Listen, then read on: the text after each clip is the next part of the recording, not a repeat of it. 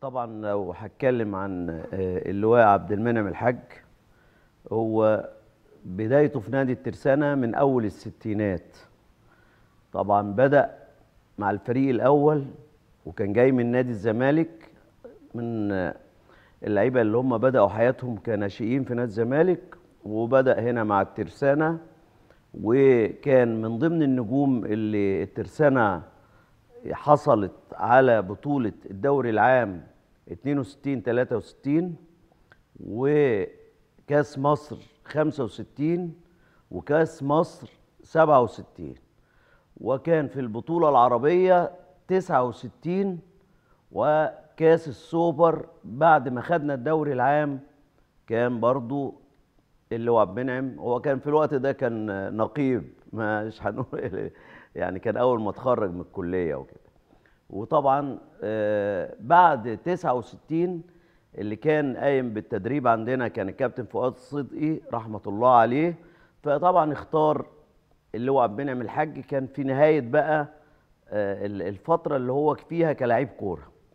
اختاروا معاه كمساعد وكمل معاه. وبعد كده آه، معاه في المقاولين. المقاولين برضو حصل على البطولات اللي هي مع نادي المقاولين ومشي في سلك التدريب وكان يعني موفق جدا. بعد كده انتقل لقطر آه، اشتغل في قطر فترة. جه من قطر بعديها كنا نادي الترسانة في بداية التسعينات بقى آه، كان وصلنا لمرحلة صعبة والترسانة كانت أول سنة يعني من السنوات ال- اللي في الأول بعد نظام الاحتراف آه، تنزل للدرجة الثانية فالمجموعة بتاعتنا إحنا كلاعيبة نادي قدامى كلنا اتجمعنا وكان اللي هو حرب واللي هو عبد المنعم الحاج والحاج مصطفى كامل محمود ومجموعة كبيرة والكابتن أحمد بهاء الدين الله يرحمه. آه، حاولنا نكون مجموعة عشان نعمل مجلس إدارة نتولى المسؤولية بعد هبوط الترسانة للدرجة الثانية كان الكلام ده في 92 فطبعا اللي هو عبد المنعم بعد الفترة ديت آه، يعني داعم للي موجودين وداعم باستمرار وبيسأل باستمرار وما زالت العلاقة بيننا وبينه ممتدة. وتم تكريمه وهو يستاهل أكتر من كده بتسمية يعني حمام السباحة بالمجمع اللي جوه. باسم اللواء عبد المنعم الحاج كان من الناس اللي هي أخلاقها وسلوكها هادي جدا ما كانش متسرع في اتخاذ قرار كان يقعد ويدرس ال- الأسباب اللي هياخد بسببها القرار آه، بتأني شديد جدا وبهدوء ويرجع للمسؤولين اللي معاه